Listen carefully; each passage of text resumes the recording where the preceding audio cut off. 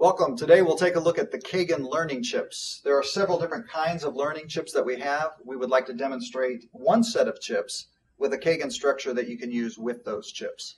Our first look will be with a team building topic, and there are the names of its content on one side of the chip, and on the other side is a question all ready for your students to answer and respond. But if we want students to be engaged, we will structure the interaction.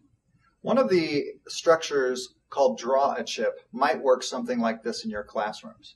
After you've taken the, the chips out, draw a chip is a great uh, structure to use within teams. You'll notice that the chips are real uh, hard, they're durable, so if they drop, they won't break for you. The first thing we will do is sitting in teams of four is one student on the team for the structure draw a chip draws the top chip, reads the question aloud, and answers the question as a team builder so the students on the team can get to know something about somebody else. For example, I might draw the chip that says, Who is your role model and why? My mom is my role model. As a retired music teacher, she certainly led me into the field and career of music and teaching music. Once the first chip has been used, Christy would just retire that chip. If I'm next on her team, I would draw the next chip. The prompt simply says, What's your uh, scariest experience? Describe. I would have to say to my teammates that I think one of the scariest experiences is when our house was flooded when I was very, very young, and it was extremely traumatic for me. I shared mine. My chip is retired.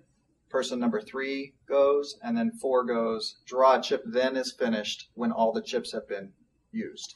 That's just one structure, and on the back of every single learning chip are other structures that can engage the team in different ways.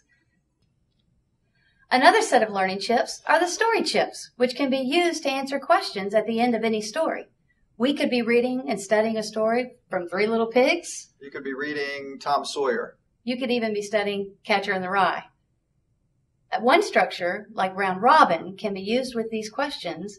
A teacher can read one question from the chips. Everyone on the team, we're sitting in teams of four, takes turns answering the question. Or you could have all of the chips at every single team table. One student would draw the chip. That would be the question prompt for everyone at the team to answer while they're doing the round robin. This team could be answering one question about the story, while your other teams could be responding to different questions about the story. Round robin is one structure of many structures where we can process content. Kagan offers canisters to store your learning chips for future use. Combo sets are also available, eight in each set, one set for every single team in your classroom. Also, canisters are available when you order the combo set of eight. We also offer blank learning chips for you to create your own questions for any topic.